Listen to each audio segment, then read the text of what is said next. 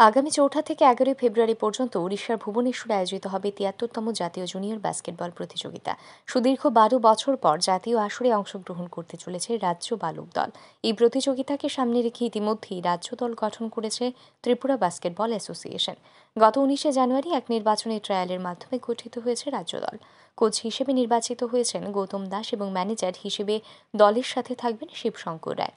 ত্রিশে জানুয়ারি মঙ্গলবার রেলপথে ভুবনেশ্বর উদ্দেশ্যে রওনা দেবে বারো জন খেলোয়াড় সহ মোট চোদ্দ সদস্যের রাজ্য জুনিয়র বাস্কেটবল দল।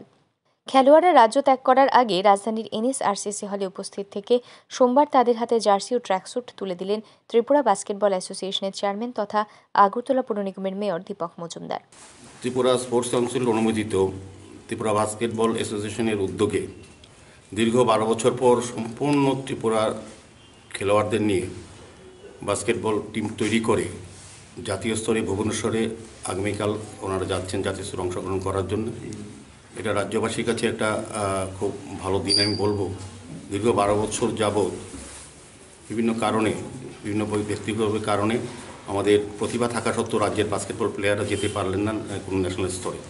এই প্রথম এখানে অলিম্পিকের যিনি চেয়ারম্যান আছেন রতনবাবু, সঞ্জয়বাবু মতিলাল সাহা, স্বপন সাহা এবং তারা সম- সমস্ত উদ্যোগ গ্রহণ করেছেন করে একটা বিশেষ সিদ্ধান্ত নেওয়ার ফলে রাজ্যের যে কৃতি এবং প্রতিভাবান প্লেয়াররা তাদের মনে কিন্তু উৎসাহ জেগেছে যে আগামী দিনেও একটা সুযোগ থাকবে যে তাদের প্রতিভা বিকা- বিকাশ করা, প্রসার করা এবং সমৃদ্ধ করা এবং জাতীয় স্তরে অংশগ্রহণ করা।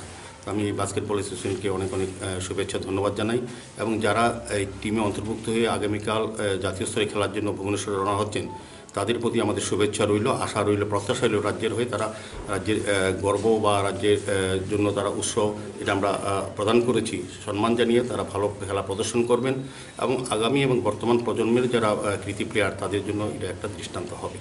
আমি তাদের শুভেচ্ছা যেমন জানাই এবং তার সাফল্য কামনা করছি। সোমবারের এই অনুষ্ঠানে উপস্থিত ছিলেন ত্রিপুরা বাস্কেটবল অ্যাসোসিয়েশনের সভাপতি সঞ্জয় সাহা এবং ত্রিপুরা অলিম্পিক্স অ্যাসোসিয়েশনের চেয়ারম্যান রতন সাহাও। Bureau Report, RE News.